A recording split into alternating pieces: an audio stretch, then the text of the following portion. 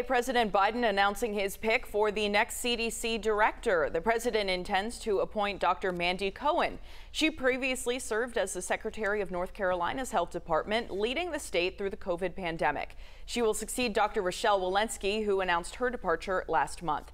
Dr. Walensky releasing a statement on Dr. Cohen's appointment, saying in part her unique experience and accomplished tenure in North Carolina, along with her other career contributions, make her perfectly suited to lead CDC as it moves forward by building on the lessons learned from COVID 19.